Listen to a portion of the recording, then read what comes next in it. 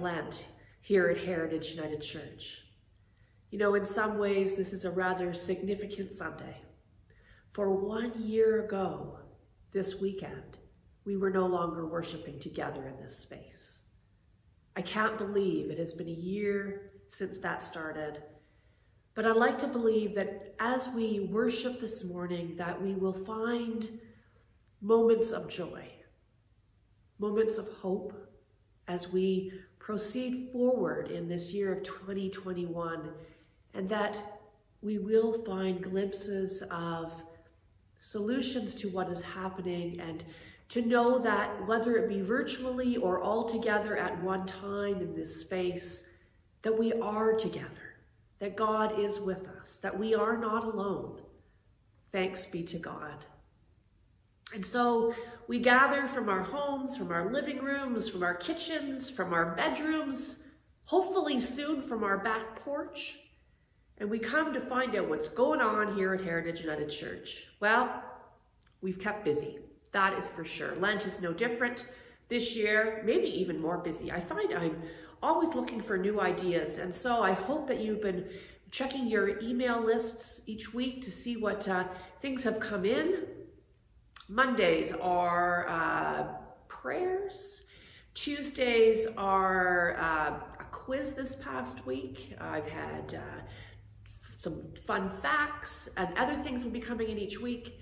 Uh, included with the newsletter this week is actually a recipe for making uh, pretzels, which was uh, something that has to do with Lent because of the way that pretzels are formed in the form of a, of a, of a prayer or a, and so I invite you to make pretzels if you can and send a picture of them.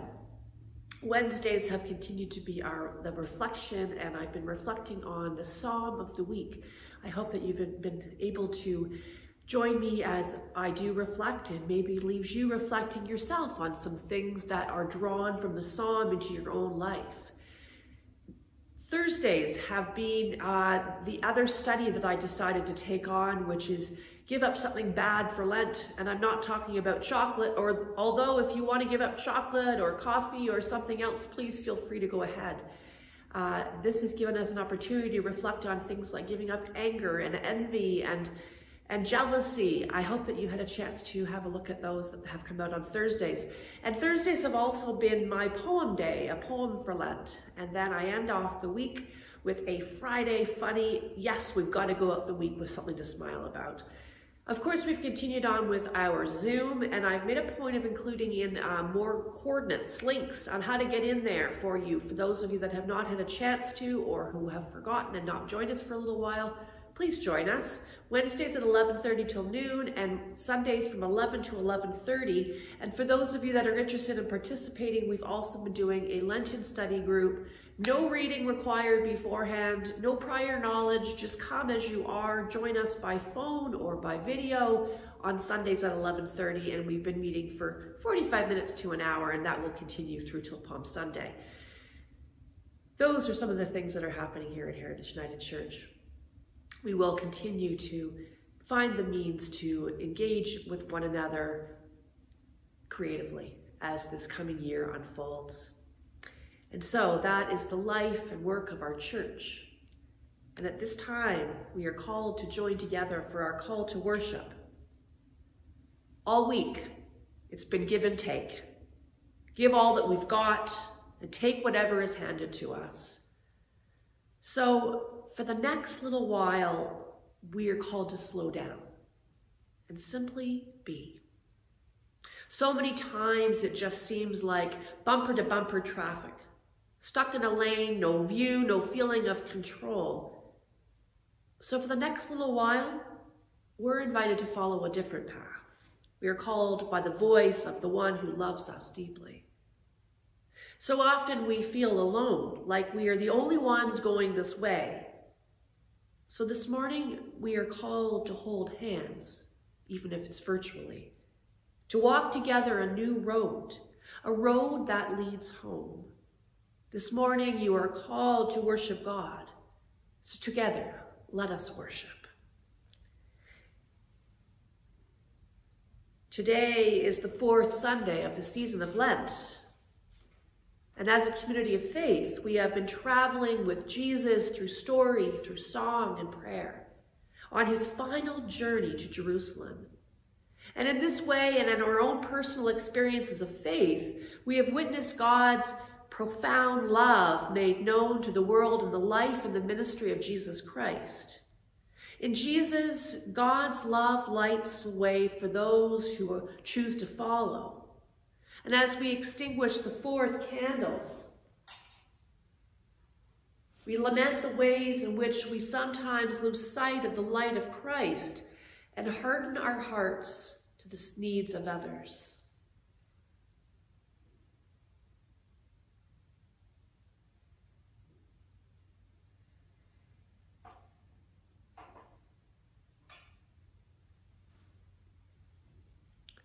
As we watch the smoke rise, we remembered that God's Spirit is with us in mysterious and visible ways, and that we are forgiven, blessed, and encouraged to open our hearts and our lives to God. Let us raise our voices in song, a prayer to you, O God, with our musical response.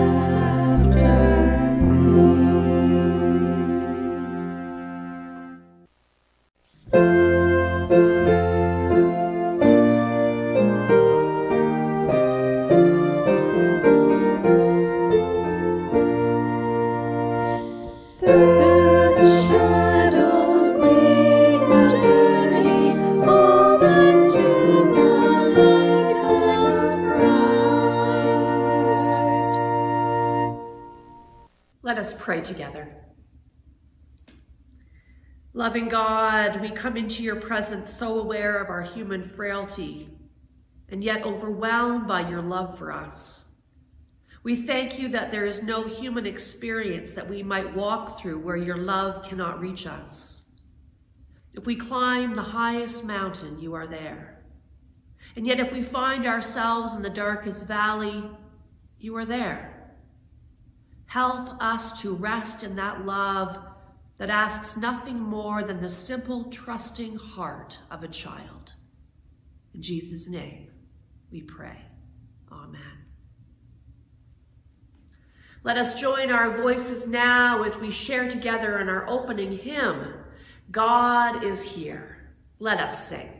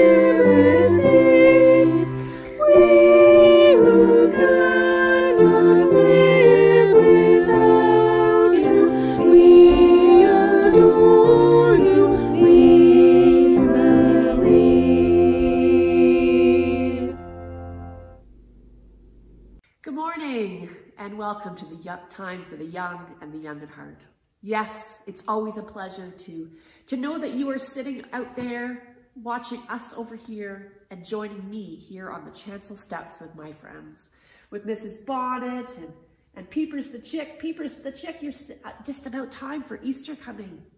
Of course, I've got Faircrow and Chimp and Taz.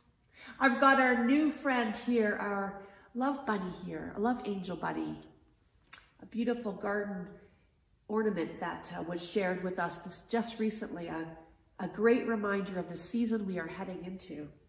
Of course, I've got Betty Boop and Moose keeping an eye on things at the back.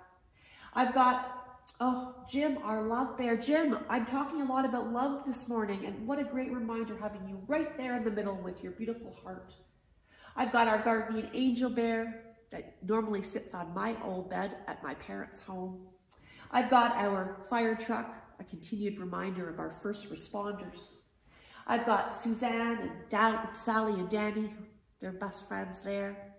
And of course I've got Sweater Bear. Sweater Bear, hopefully we won't need those sweaters too much longer. And I do have hiding, oh, there you are. And I've got Summer Bear hiding in the back with a coat and hat and scarf. You know what, Sweater Bear? I think we are almost there. You're going to have to change back into summer clothes.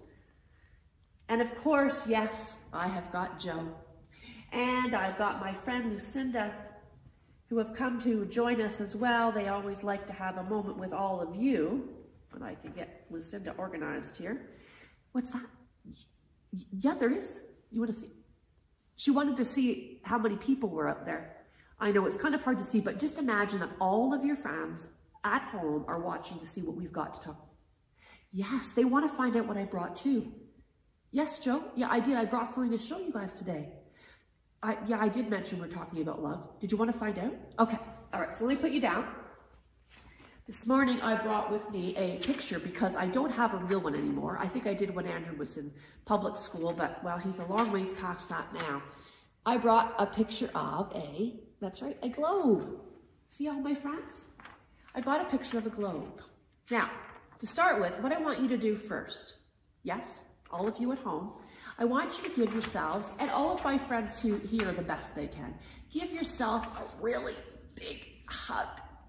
Okay? Nice big hug. That's right. Now, I want you to virtually reach out to the globe. That's right.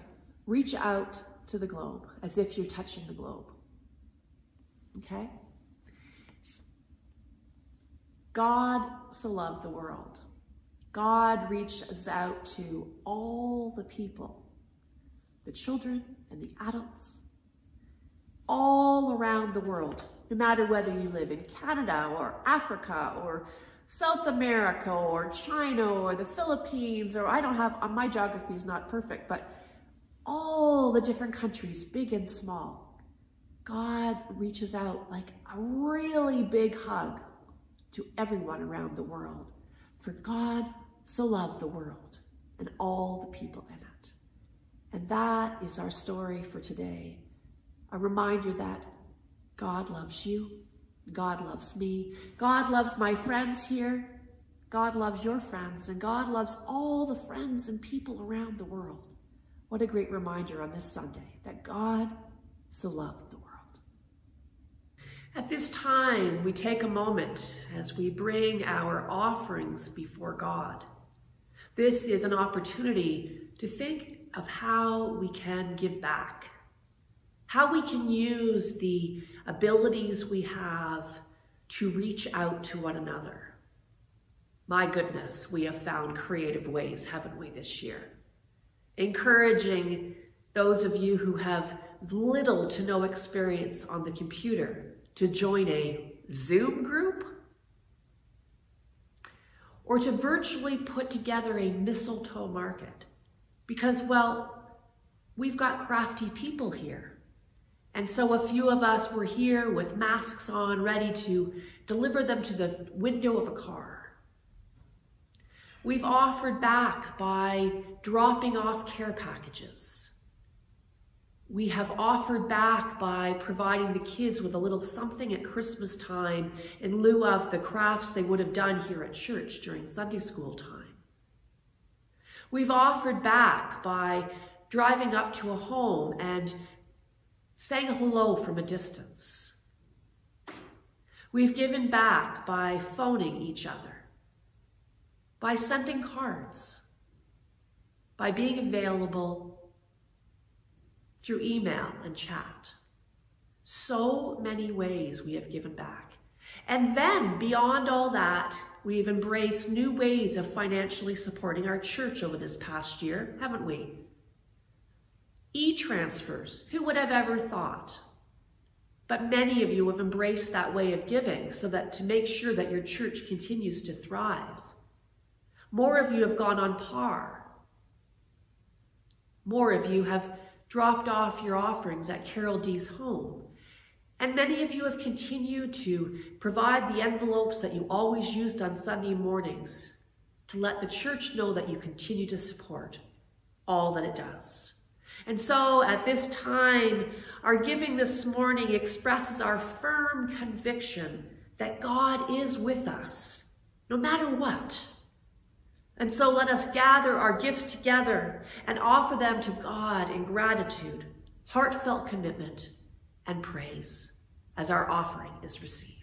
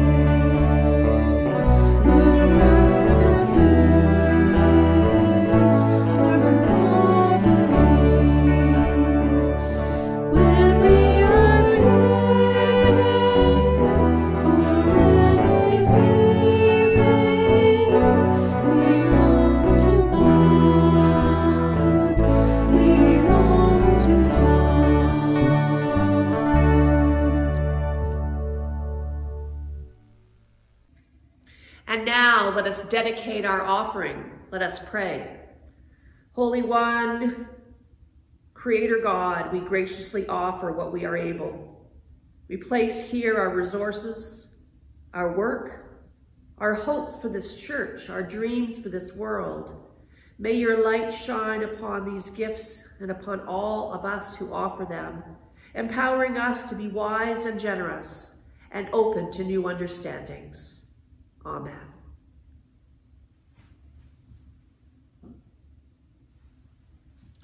And now let us continue in prayer as we bring our prayers for our world, our community, our family and friends before God. Let us pray. Holy and gracious God, on this one year anniversary of not being able to gather together and worship because of the pandemic, we turn to you in prayer. When we continue to feel unsure, God, help us to be calm. When information comes, help us to discern. When fear and anxiety seem to be the order of the day, slow us down, God. Help us to reach out with our hearts when we can't touch with our hands. Help us to continually find ways of being socially connected when we have to be socially distant. On this one year anniversary, we take some time to remember the lives lost and the loved ones who mourn. We remember the pain of separation, the sadness of opportunities missed and celebrations canceled. We remember the job losses and economic toll the stress and despair of people who are unemployed or own a struggling business. We recall stay-at-home orders and lockdowns, and we pray for those without a home during this pandemic, as well as those for whom home is a place of turmoil. We hold in prayer those who especially are feeling isolated or afraid, parents feeling overwhelmed or anxious, young people lonely or frustrated. This morning we bring before you those who weigh heaviest on our minds this day as we pray for Alma and Bob Watt, John Seagraft, Bob and Marilyn Palmer, Barb Garland, Joyce Lapp, Ellie Jones, Maureen and Harry Terhune, and Lee Kirby. We also take a moment to bring our own personal concerns to you, O God, in this moment of silence.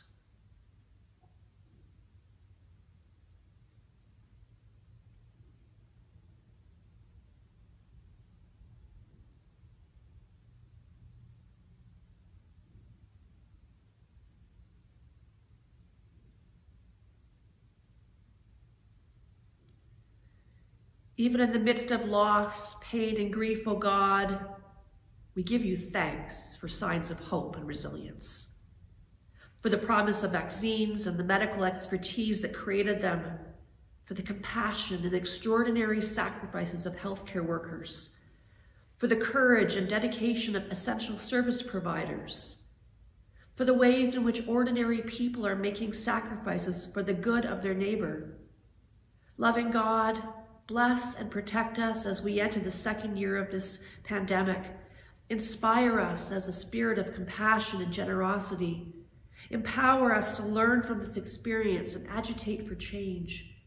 We ask in the name of our healer and hope, Jesus, who also gave us words to pray together as a constant sign of his presence with us no matter what. Let us pray together those words. Our Father, who art in heaven, hallowed be thy name. Thy kingdom come, thy will be done on earth as it is in heaven. Give us this day our daily bread, and forgive us our trespasses, as we forgive those who trespass against us. And lead us not into temptation, but deliver us from evil. For thine is the kingdom and the power and the glory forever and ever. Amen. And now let us take some time as we hear God's word with a reading from the Psalms by Evelyn Lilly. Good morning. I'm reading this morning from Psalm 107, verses 1 to 3 and verses 17 to 22. Give thanks to the Lord, for he is good. His love endures forever. Let the Redeemer, redeemed of the Lord say this those he redeemed from the hand of the foe those he gathered from the lands from east and west, from north and south. Verse 17. Some became fools through their rebellious ways and suffered affliction because of their iniquities. They loathed all food and drew near the gates of death. Then they cried to the Lord in their trouble, and he saved them from their distress. He sent forth his word and healed them. He rescued them from the grave. Let them give thanks to the Lord for his unfailing love and his wonderful deeds for men. Let them sacrifice thank offerings and tell of his works with songs of joy. This ends the reading.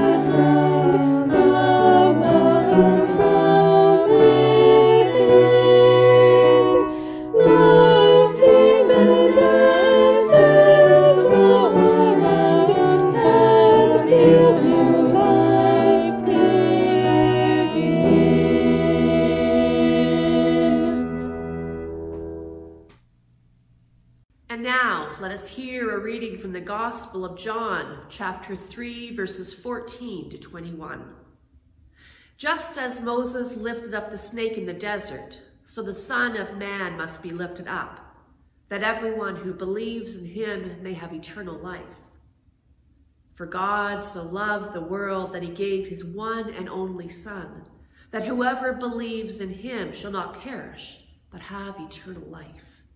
For God did not send his Son into the world to condemn the world, but to save the world through him. Whoever believes in him is not condemned, but whoever does not believe stands condemned already because he has not believed in the name of God's one and only Son. This is the verdict.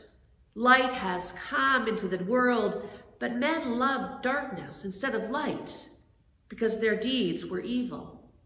Everyone who does evil hates the light and will not come into the light for fear that his deeds will be exposed. But whoever lives by the truth comes into the light so that it may be seen plainly that what he has done has been done through God. God bless these readings from our scriptures this morning. Amen. And at this time, let us join our voices as we sing together, Jesus bids us shine. Let us sing.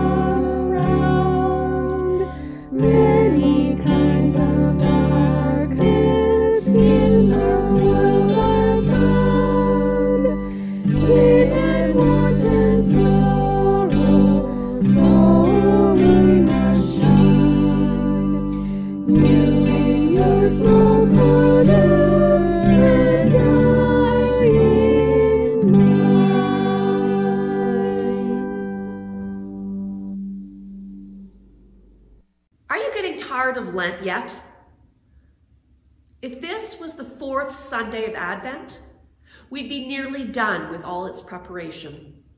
We'd be anticipating the celebration of Jesus' birth in less than a week. That's right, Christmas Eve would be just around the corner. But this isn't Advent, it's Lent. And we have a ways to go before the end of this 40-day journey into the wilderness. There are still two more weeks before we can wave palm branches at the entry into Holy Week. We have three more weeks to pray and prepare our hearts for Christ's resurrection on Easter morning.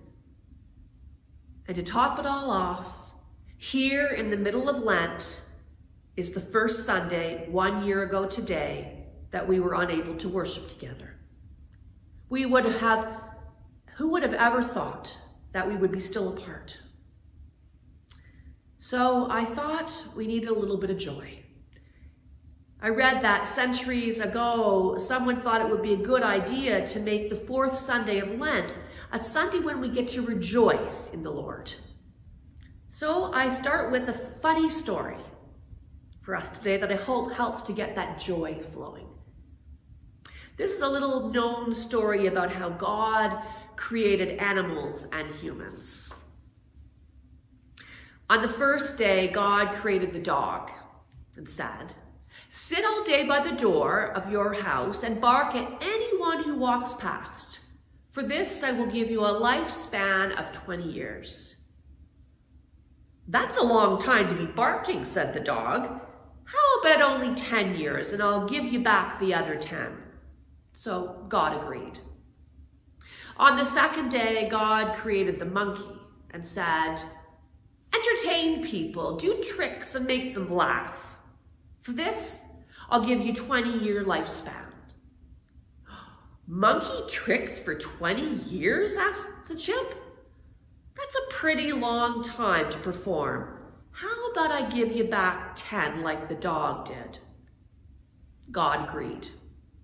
On the third day, God created the cow and said, You must go out into the field with the farmer all day long and stand under the sun, have calves and give milk to support the farmer's family. For this, I will give you a lifespan of 70 years. Whoa, said the cow. That's kind of a tough life you want me to live for 70 years. How about I give you back 20? How about I, about 20 and I'll give you back 50? And God agreed again. On the fourth day, God created the human and said, Eat, sleep, pray, marry, and enjoy your life. For this, I'll give you 20 years. Only 20 years, wailed the human. Could you possibly give me the 20, the 50 the cow back gave back, the 10 the monkey gave back, and the 10 from the dog? That makes 90. Deal? Okay, God sighed. you asked for it. So that is why for the first 20 years we eat, sleep, pray, play, and enjoy ourselves. For the next 50 years we have children and we slave to support them. For the next 10 years we do monkey tricks to entertain our grandchildren. And for the last 10 years, we sit on the front porch and bark at everyone who walks by. Life has now been explained to you. God so loved the world. I can't think of a better gospel passage to bring us joy than this third chapter from John's gospel. This is where we find the famous verse that sums up the whole gospel message. For God so loved the world. God sent Jesus to be a missionary to the world. His ministry was to go on a multicultural journey to tell people about the kingdom of God. He left his home and family and traveled a long way. He learned the language of the people he met, ate their food, taught and healed them, and was a living example of God's love in action. God so loved the world. Sometimes I really think that ours is a world that only God could love. Each week we hear stories of where things currently are with this pandemic. It has been alarming and unsettling to say the least. So much information is out there if you want to hear about it. But the one thing that we all know is that our world has been radically changed and will never be the same. So I decided I was going to look for some good news stories this past week. And you know what? I actually found some. There was one of a story of a of butterflies being released at an Ontario's nursing home, which gave hope for the seniors who lived there. There was another story about a Canadian dancing baby who just couldn't stop bouncing in her jolly jumper. Remember those? The little girl has brought so much joy in so many ways. Just two examples of simple things that bring us happiness hope, and love. For God so loved the world, loved, lived. And this brings us to the story of Nicodemus, a Pharisee and a rabbi who comes to Jesus under the cover of darkness in the verses just before the ones we heard read today. Maybe Rabbi Nick comes to Jesus at night to keep his conversation a secret from the other Pharisees. Maybe he doesn't want to admit publicly that he is in contact with Jesus, that he wants to learn from him. Or maybe he was only trying to speak with Jesus without being interrupted after the crowds have left for the day. Whatever motivation caused him to wait until darkness had fallen, his appearance at night is unusual enough that later, when Nicodemus re-enters the story, he is referred to as the one who came to Jesus at night. It's pretty clear that Nicodemus comes to Jesus in a state of confusion and spiritual blindness, and he can't seem to grasp what Jesus is trying to teach him. We know this because Jesus can't believe that a biblical scholar and teacher can't grasp the truth that is standing right there in front of him, as he tells him that plainly.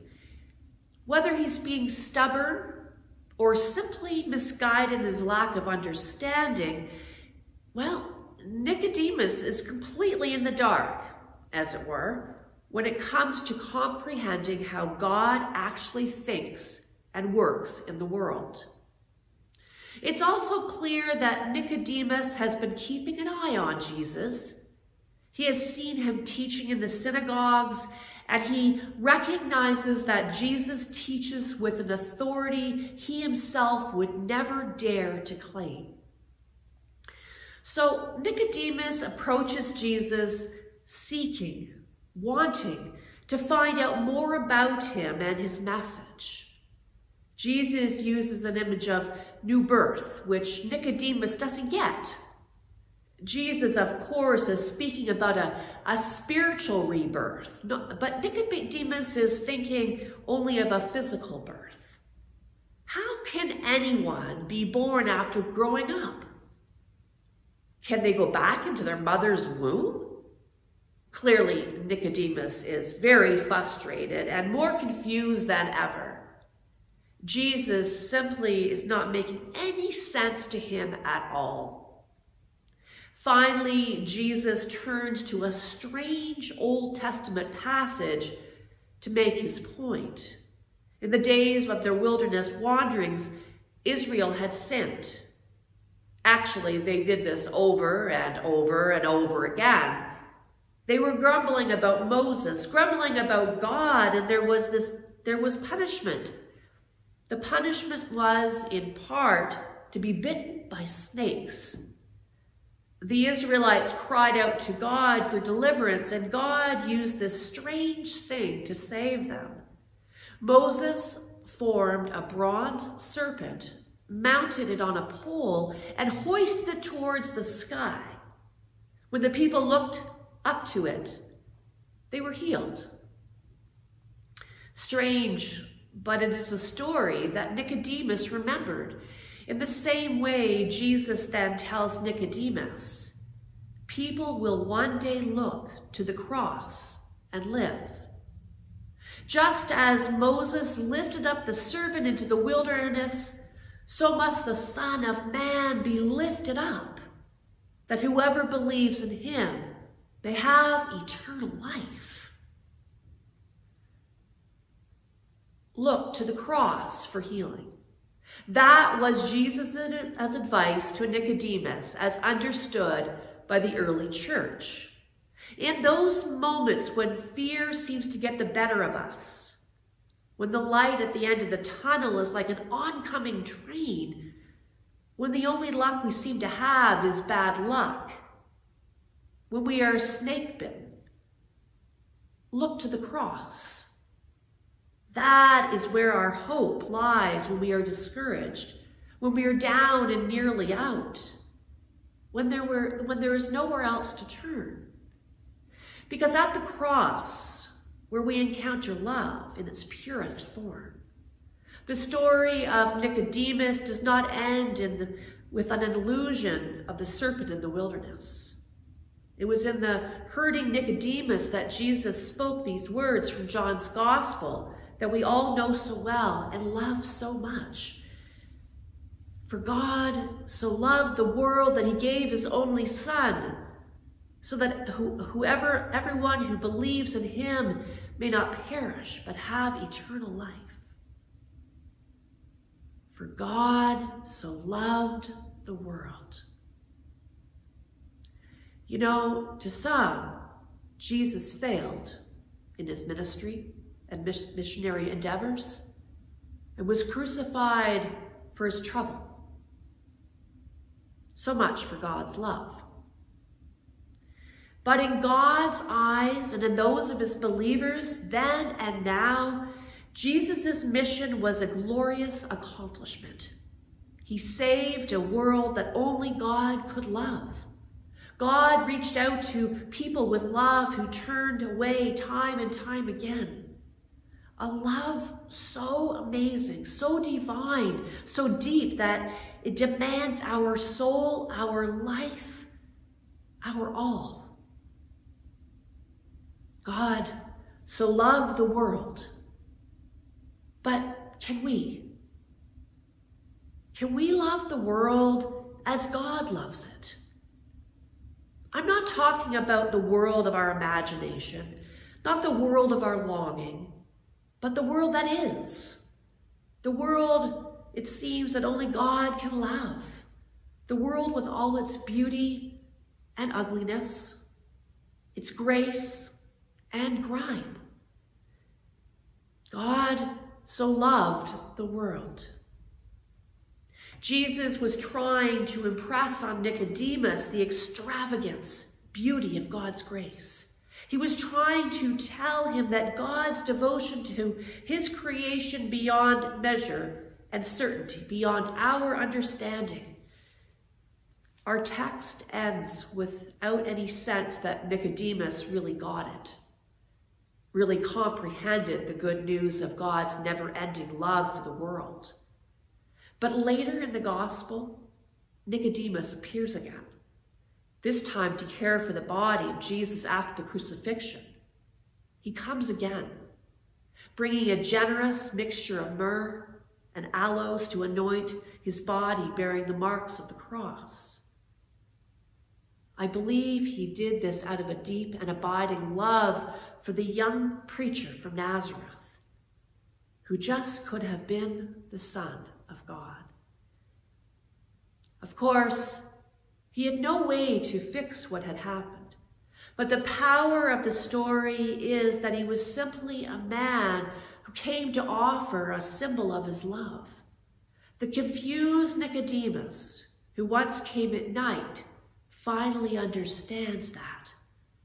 God so loved the world. This is love in its purest form. And we are called to love what God loves, who God loves, and as God loves. Our prayers and our goals over this last year echo the words of Julian Norwich from the Middle Ages who said that all may be well. Together, we have done our best to live this kind of love throughout this past year in many creative ways. And so I want to share with you some of the pictures that were shared with me of family and friends who found ways of creatively living love this past year. Sit back and enjoy.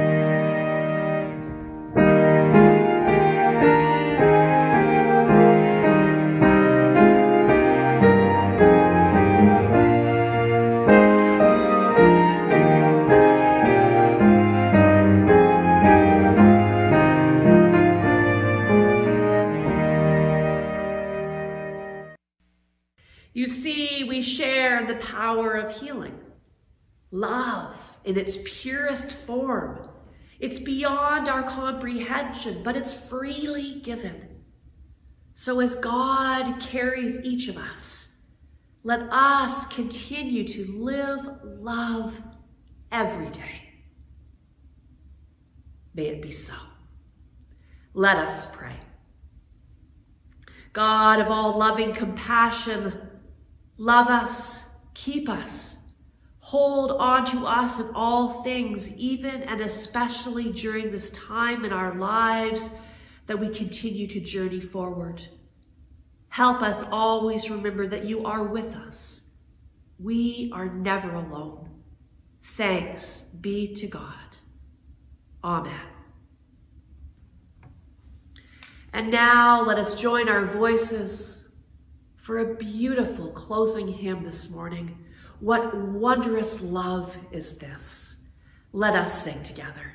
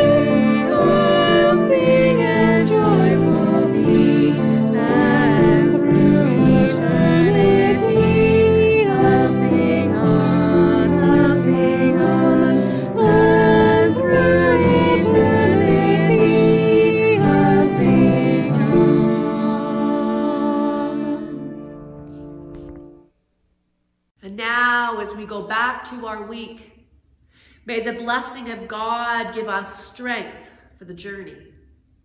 May the spirit of wisdom give us vision for the road. And may the love of Christ make us caring companions as together we go forward in this Lenten time. Amen and amen.